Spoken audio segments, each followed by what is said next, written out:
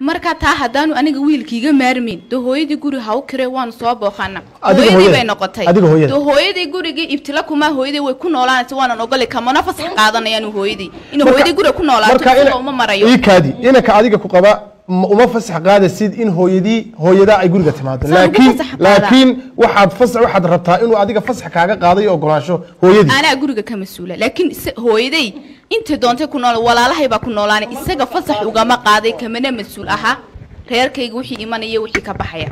Waay een, waxaanad jeceshahay inuu inanku ogolaansho hooyadii kaaga qaado. Haa hooyadii hayga walaalkii hadduu maxay ku kala duwan yihiin hooyada iyo isaga hooyadii. Hooyadii furitaan baabay sababasaaba waxaa muhiima in loo daayo inanta guriga mas'uulka ka tahay iminka odayaashan fadhiya waxaad mooda xooga ah in hablaha yara cadaadinayeen oo aragtidooda la yaabanayn maaha in aragtida qofka biniadanka lala yaabo. Rayi buu qaba raygiisa loo tixgeliyo. Haduu ku qalday haduu ku saxsayin marka waa in adna raygaaga la wadaagto marka kii saxa ku qaadanaya isaga u tala. Ajanaatu taxta aqdaam alummahaad buu rasuulku joog nabigu calayhi salaatu wasalaam cagaa hooyaday buu jannada dhigay laakiin caga gabadheeda muu dhigay. Soddon hadday tegayaan gabadha hooyaday halkaa ku qaadi lahaa voiganjelo kadinkaga baxaysaa. Doodaasi wiilasha iyo gabdhaha ay dhex taallo ma muslim baa mise waa gaalo? Waa muslimiin soomaali ah. Okay nidaamka gurigooda maamula ama guriga ay ku hagaan ama ay isku guursadeen ma shareeco islaam baa mise waa mid gaalo waa shareecada islaamka waana dad muslimiin ah. Warku waa cad yahay marka haddaan labadaa jawaaboodba helay inay iyaguna muslimiin yihiin. Guriga sharcigii lagu dhisayna uu ahaa ka islaamka. Iyaguna gurigooda inay diin islaam ku maamulaan. Intaa haddaan jawaabteeda helay jawaabta su'aasha jawaabteeda way caddahay قرقة هو يدو وهو يدي أبو هنا وأبيه قرقة مذو البنى حقوق بوليه ولهن مثل الذي عليهن بالمعروف وللرجال عليهن درجة وآيات قرآن دمركو حقوق ذا إليهن xuquuqda ay leeyihiin mid la mida lagu leeyahay. Ninkii xuquuqdu leeyahay mid la midaya xaaskiina leedahay. Ragguse hal darajay la dheer yihiin baa la yidhi. Oo aan loo sinayn darajadaasi maxay tahay? Waa darajada qawaamada waa gori guriga iyo hoggaankiisa. Waa midda aayadda kale ale ku sheegay alrijaalu qawaamuuna cala annisaa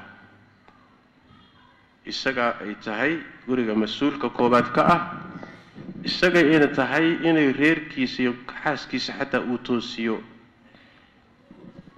marka gurigan ninkaa mas-uulka ah isagaa oday ka ah hooyaduna waa hooyadii guriga wixii arrimee ku saabsan wadatashi ya wa amruhum shuuraa baynahum laakiin go'aanka gabadamaysta ayaa leh marka la tashado odayga gurigaa iska leh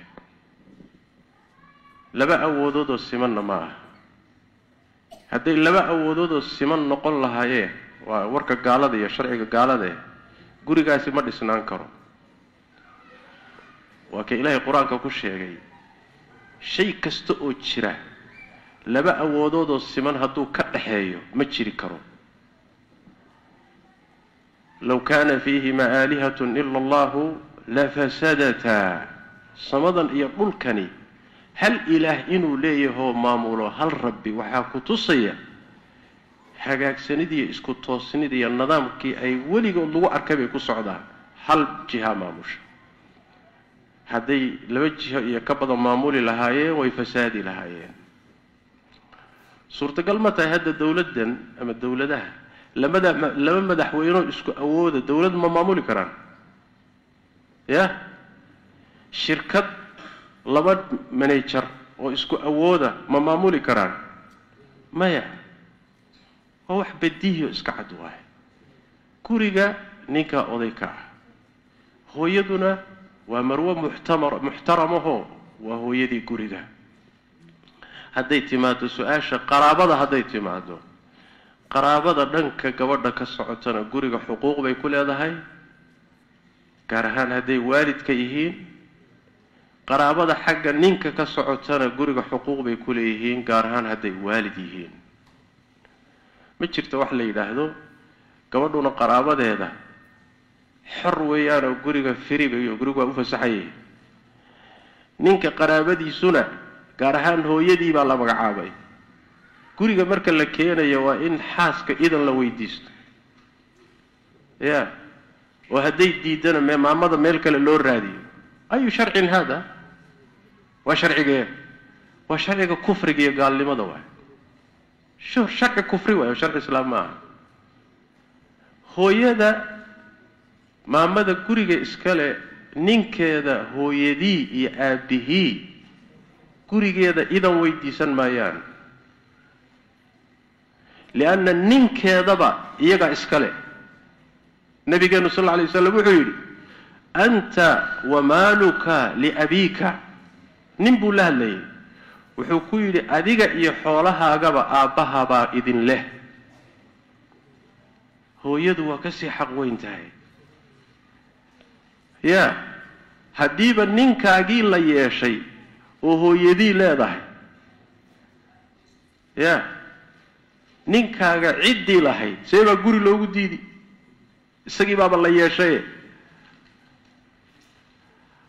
Waa midda labaade haddii adiga laf ahaantaada hooyada ah waalidkii ninkan dhalay inta lagu afgaran waayo ay ku yidhaahdaan waryaa middani nama anfacaysee fur waa lagu eryi marka hooyaan guri u diidi weydiisto guri kale ha loo kireeyo ay sharcin haada ay sharcin haada qaraabo goysnimo intaa leeg waxa laga hadlay haddana waa waalid waxa laga hadlo haddana waa waalid waaye qaraabo kale xataa hadday ahaan lahayd bacdu shari ahwan way isdhaami lahayd laakiin waalidkiibaa guriga loo diidiyo idan ha weydiisteen waa thaqaafo iyo dhaqan inoo yimid oo soo guuray waaye waa dhaqan la soo minguuriyey oo aan ahayn kii islaamka aanan ahayn kii bulshadeennu ay lahaan jirtay. War miyaynu lahaan jirnay ma dhaqan waxaan lahaan jirnay hooyo meel kale ha loo raadiyo la yidhaah. Maya. Ama xagga xaaska ha ka timaado ama xagga ninka ha ka timaado hooyo gogasha ugu wanaagsan baa loo dhigaa cuntada ugu wanaagsan baa la siiyaa guriga idan ma weydiisato iyadaa iskale aabba waa sidoo kale ama dhanka xaaska ha ka yimaado ama dhanka ninka ha ka yimaado waalid baa idan weydiisanee adari dhaafi meel kale u kireen naagta sidaa qabtay in la eriyo waayo in la fiijiyo waayo taasi naag maaha xaas maaha haddayna waalidkiiba ogolayn oy gurigiiba ka sheemayso u diidayso xaaskaasi muxuu yahay ya malaha naag caddaan aad qabtaan naaga yurubiyaana maad soo guursateen gabadhaas soomaali maahaan u malaynay. Waxaasi dhaqan maaha